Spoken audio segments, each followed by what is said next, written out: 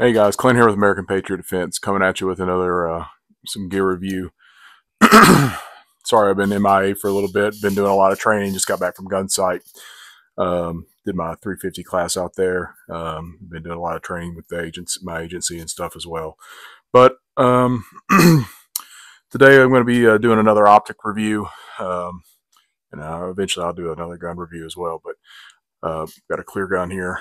Uh, got a P365 Legion, but the optic review I'm going to be doing is this Romeo X. So it's SIG's new uh, micro red dot um, uh, for we'll call it their micro micro red dot, their their small red dot platform.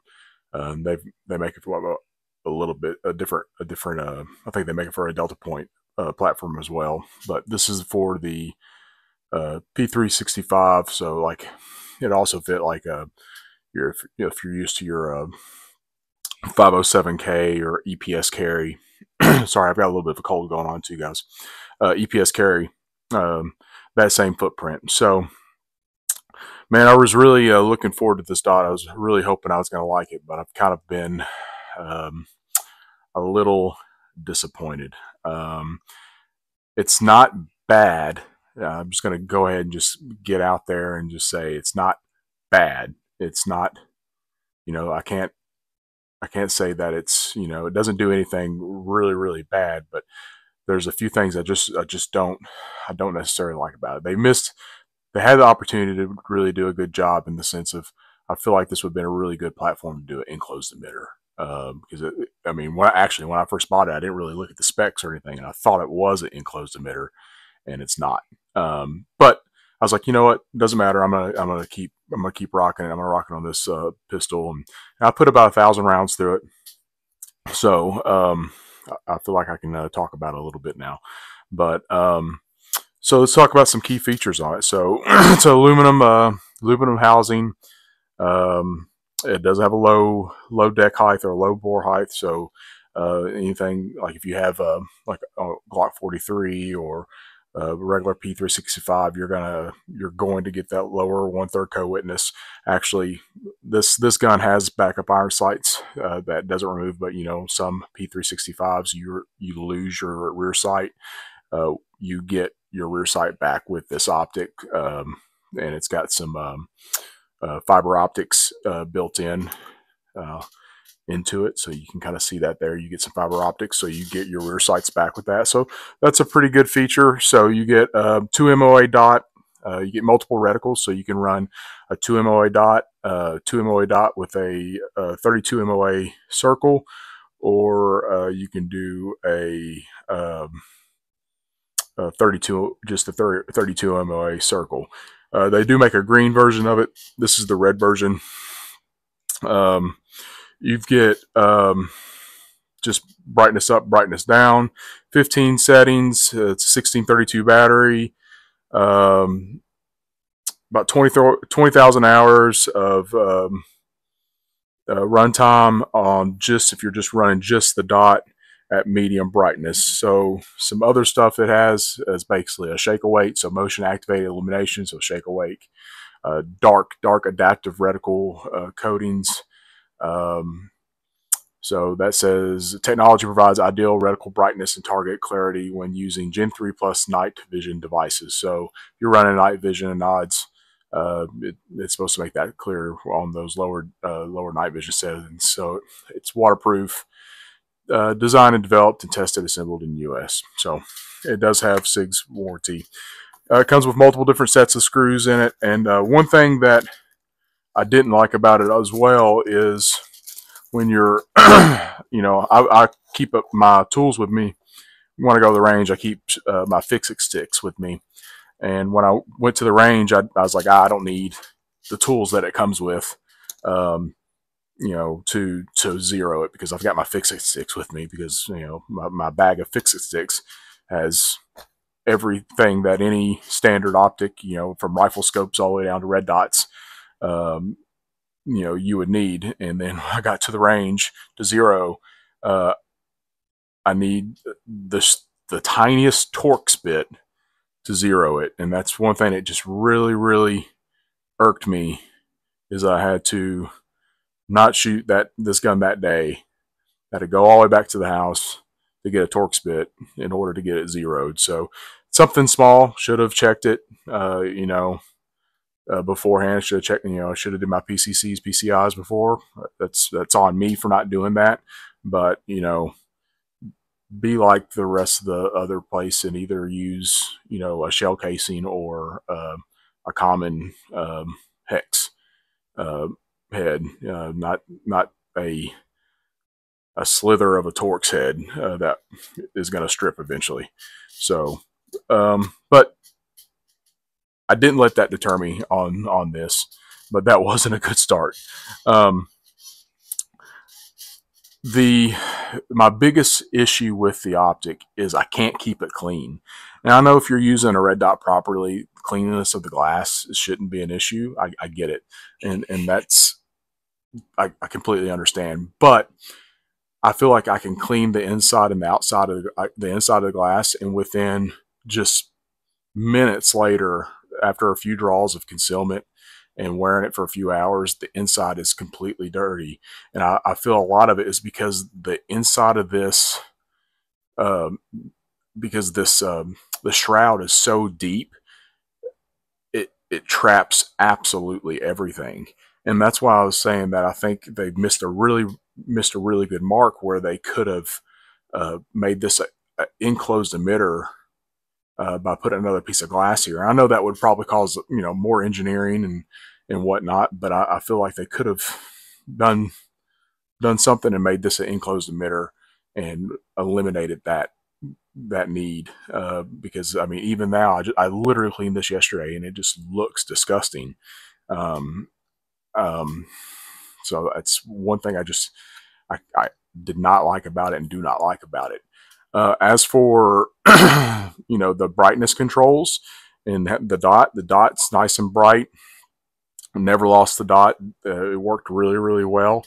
Um, it has plenty of adjustments in brightness. I can't say anything bad about that. The the side tray, the battery tray here, I actually really like this side, this large side tray. One thing I I don't like about the Holosun side tray is the that really small screw and that that that tray table um, you know, if you lose that screw, you, I mean, you're SOL. You have to, you know, either get another screw or, you know, you, have got to get another screw if you lose that screw. And um, I'm always worried about over torquing that screw. This, I think, this side tray is really good, but the bad thing about this side tray is it really bulks up this area. Um, you know, and that, and they, you know, this was their this deeper shroud, this big shroud was their solution.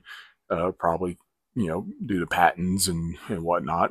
So, you know, if the real estate's there, that's why I was saying if the real estate's there, might as well go ahead and do an enclosed emitter, right? Um, but, um, yeah, uh, buttons are really tax tactile. You can you definitely know when you're pushing them up and pushing them down. Uh, never inadvertently turned them on and turned them off, uh, turned the optic off or anything like that.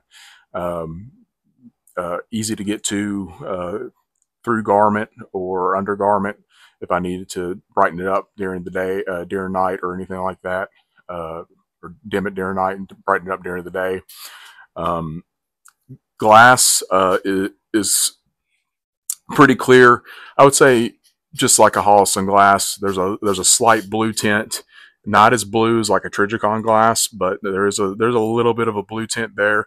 Uh, there, I didn't, um, you know, this is a sample size of one but I didn't notice any de- deformation around the edges like uh, you get with some of the cheaper glasses. I know some of my EPS carries I've had in the past, I do get some glass deformation around the size uh, of of that where I get some parallax, but you know nothing nothing major in, this.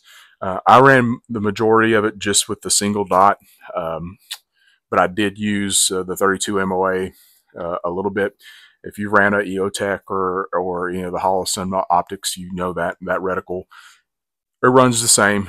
Uh, it's no difference really. So I'm I'm not going to beat that horse. Uh, installation was was a breeze. It mounts directly onto a P365 or something, anything similar. Um, but my my biggest complaint was just how how uh, how dirty that that glass gets. I just couldn't I couldn't keep it clean and I feel like that, you know, as good as it looks, it looks good on the gun. Um, it, you know, uh, it performed overall, performed very well.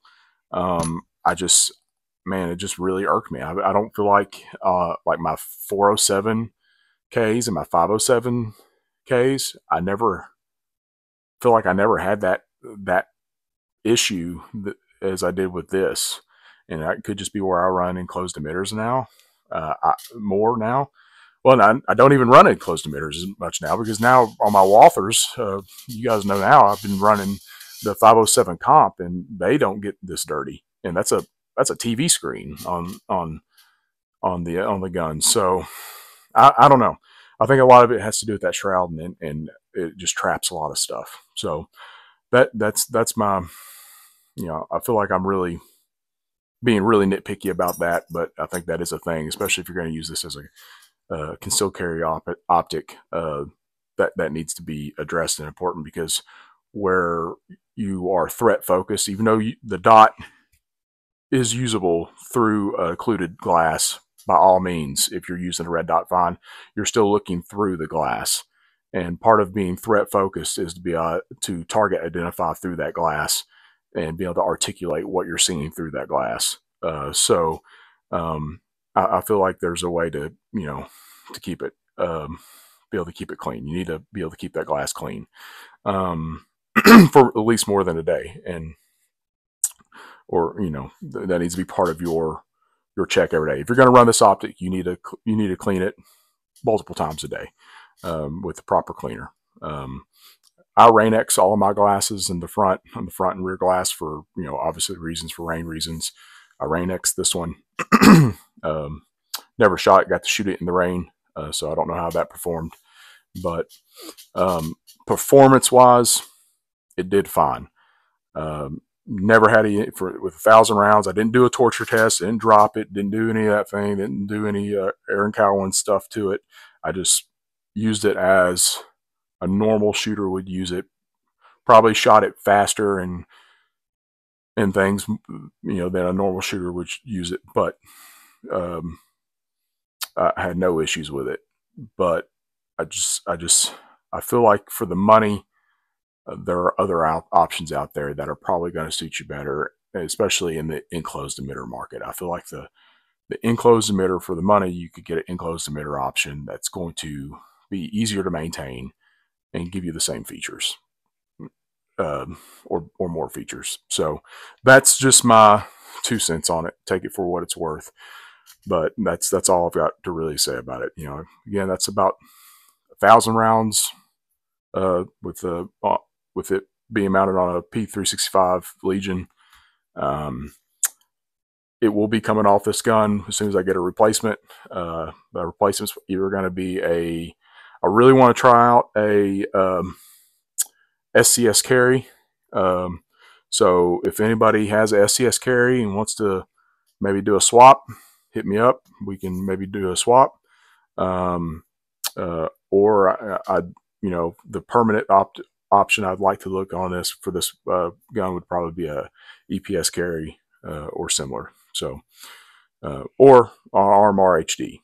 I like big glass, so I, I, it would be kind of ridiculous on this gun, but I like big glass, so I'd get a plate and run run a full size optic on this probably. But again, uh, I hope you guys like this video. Again, uh, it's not not as in depth, but uh, there's you know I don't want to. I've been repeating myself, but I don't want to you know the the features on this thing is about like all the other micro red dots out there. So uh, there's not a whole whole whole lot of information to put out there, but I just want to give you guys my take on it and kind of let you know where I feel like if you're going to be spending your money, where your money needs to go. Uh, spend your money where you want to, but I, I bought this. I spent my money on this, and that way you should or should not spend your money on it. So um, take it for what it's worth.